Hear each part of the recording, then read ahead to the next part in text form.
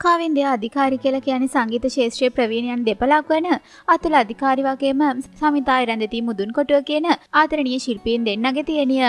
තමන්ට උපතින්ම උරුම වෙලා තියෙන කටහඬින් ප්‍රේක්ෂකයන්ගේ හදවත් තුළ ලැබුම්ගෙන ඉන්න ඇය බොහෝ දෙනා හඳුනන චරිතයක්. ඒ වගේම තමයි සමාජ මාධ්‍ය තුලින් නිරන්තරයෙන්ම ඇය කාතරත් කතා බහට ලක් වෙනවා. කොහොම නමුත් අද දිනේදී ඇගේ ආදරණීය එකම සොහොයුරාගේ උපන්දිනයේදීලා තිබෙනවා. ඉතින් මේ වෙනුනේ තමන්ගේ නිල Facebook පිටුව හරහා මෙන්න මේ වගේ සංවේදී කතාවක් තමයි කියලා තිබුණේ.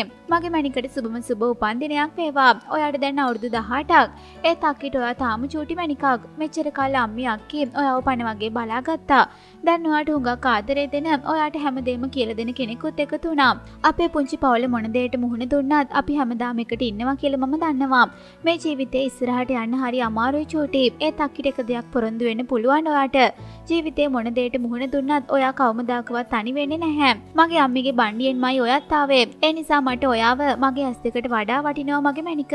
අක්කිට මේ පාර උපන්දිනේට කියන්න වචන නැති තරම්. මොකද ඔයා ලොකු වෙනවා දකිද්දී අක්කිට දුකයි. ඔව් අක්කේ ආත්මාර්ථකාමී ස්වාමී එහෙම හිතන්න. ඒත් ඒක එහෙම තමයි. ආදරේ මම මගේ අන්තිම හුස්ම තියෙන කල්. ඊට පස්සේ වුණත් අක්කි ඔයා දිහා බලන් ඉනවා. ඉන්න තැනකින්දන් අක්කි කියලයි. ඇය මේ විදියට සංවේදීව? ඇගේ ආදරේ තමන්ගේ මල්ලි වෙනුවෙන් අකුරු කරලා තිබුණේ. කොම නමුත් මේ විදියට අතදිනේදී උපන්දිනය සමරපු කාවින්ද අධිකාරිකේ ආදරණීය එකම මල්ලිට සුබම සුබ උපන්දිනයක් අපිත් ප්‍රාර්ථනා කරනවා.